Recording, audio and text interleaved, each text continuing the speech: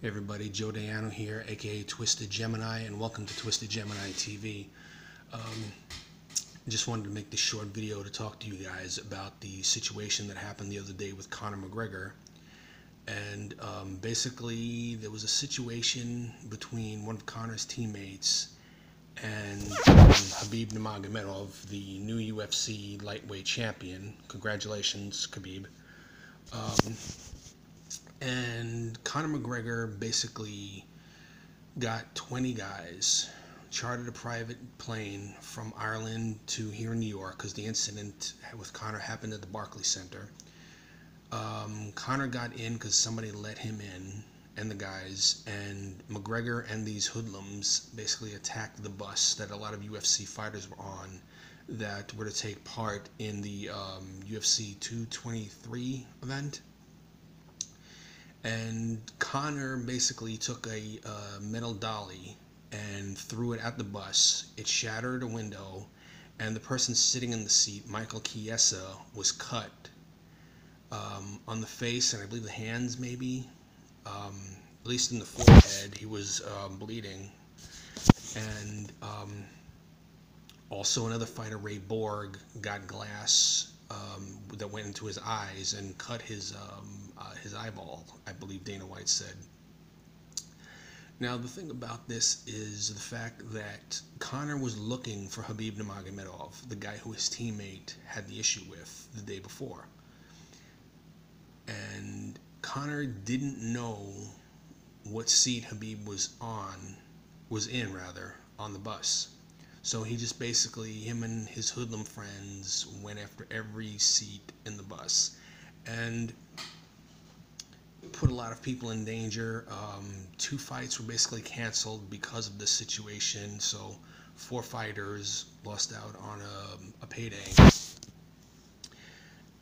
And um, following this, people actually questioned Conor's mental or emotional stability, if there was something wrong with him.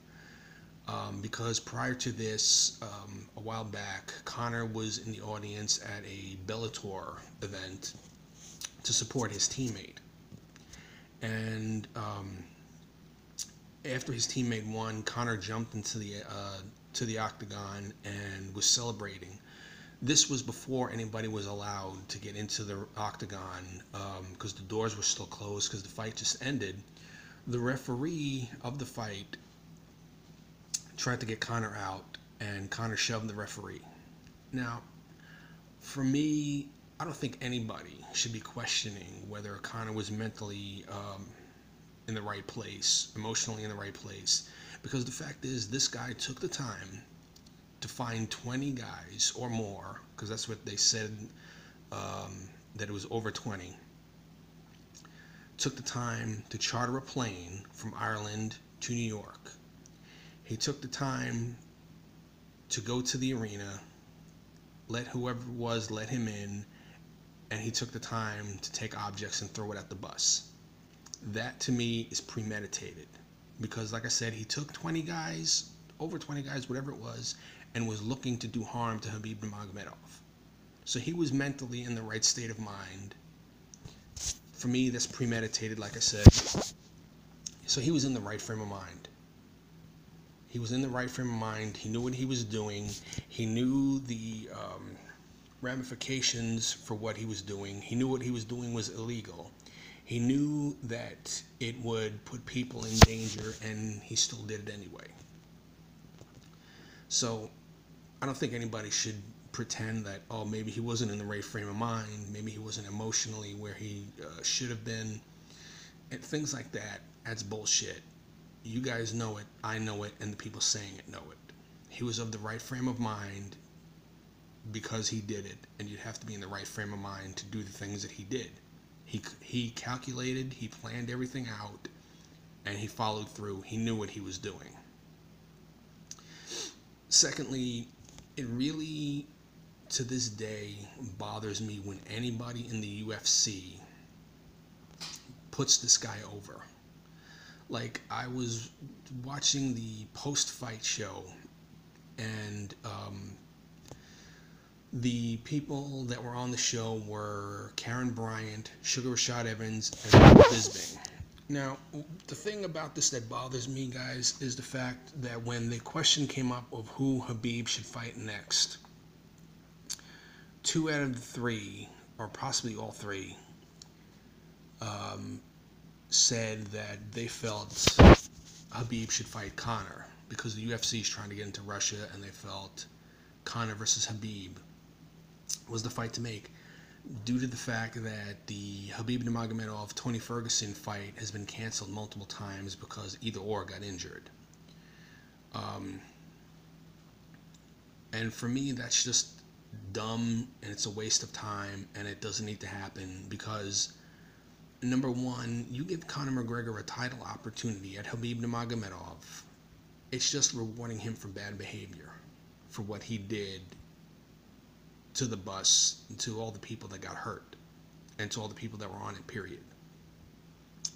You're rewarding him for basically doing nothing, okay? Because back in 2015, Conor McGregor became the UFC featherweight champion by defeating Jose Aldo.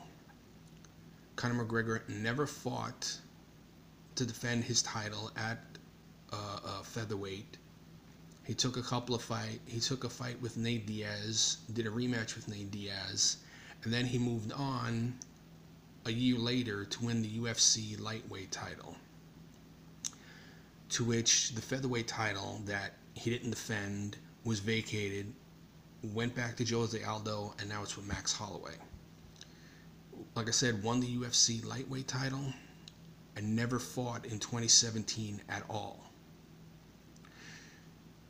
to which he was stripped of the title, and there was the fight last night, to which, like I said, Khabib Nurmagomedov is the champion now. And fact, the fact that, like I said, that um, he's never defended a title, and you want him to go into a, mat, a fight for a title, it's just gonna be a revolving door. Okay, he's he could win the title, he's gonna go home, he's not gonna defend it. You're not gonna see him at all for God knows how long this time, and it's just going to end up being stripped of him again.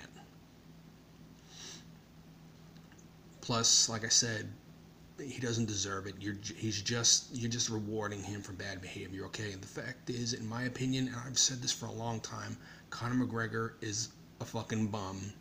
He doesn't care about MMA. He doesn't care about the um, the UFC, and he doesn't care about the marks. And yes, if you're a Conor McGregor fan, you're a mark. He doesn't care about you either. He doesn't care about your support because if he did, he wouldn't do things that he does. He wouldn't do things how he does and shit like that. Okay, you guys, you put him over, oh, like he's the oh um, second coming of Jesus. He's the resurrection of Jesus. The guy doesn't give a shit about MMA. Stop putting the guy over. He doesn't give a shit about you.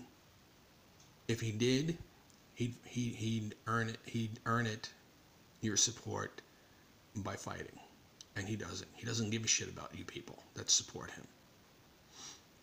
And the fact is, all of you people, like I said, you're a bunch of marks. And I don't care if you don't like being called marks. You're a mark if you support this guy when you know he does nothing but bullshit. You know he's doing wrong. Stop supporting him. I don't care folks, how much money he brings in, how many pay per view buy rates he brings in, how many pay per view sales he brings in, all that crap. I don't give a shit, okay? Conor McGregor is the worst thing to happen to MMA. Because, like I said, he doesn't give a damn about anybody but himself. Okay? To put this in perspective for you guys, David Arquette, the actor who won the WCW title in WCW, has more credibility as champion than Conor McGregor does. Why? Because Arquette actually showed up for a title defense, folks. Conor McGregor has never successfully defended a title that he's won because he's never defended a title. Okay, you know, so like I said, stop putting him over because he doesn't deserve it. And when it comes to the people of the UFC, for me, I feel like the only reason why they put this guy over is because they work for the UFC and Conor McGregor is Dana White's golden boy. Because the fact is, if that wasn't the case, how could the, say for example, the host of US, UFC tonight, Kenny Florian, uh, uh, the regular, his regular co-host, Daniel Cormier, uh, Bisping, whoever the case may be, whoever the person may be in the case, rather.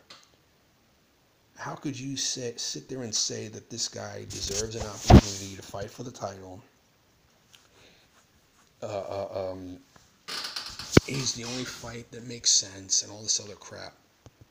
How could you say that knowing the things that he's done, knowing the things that he doesn't do? Okay. For me, the only reason why people, um, like I said, associated with the UFC say these things is because they're associated with the UFC.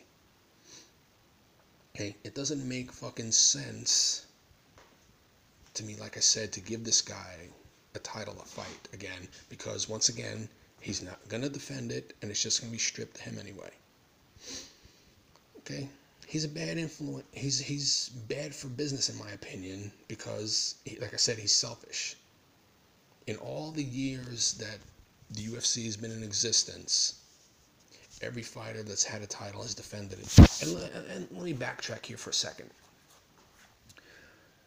when it came to Tony Ferguson versus Khabib Nurmagomedov, Tony Ferguson got injured, and just like that, he was stripped of the title. But yet Conor McGregor has sat at home for a year before or close to before he was stripped of a title and then stripped again. Okay.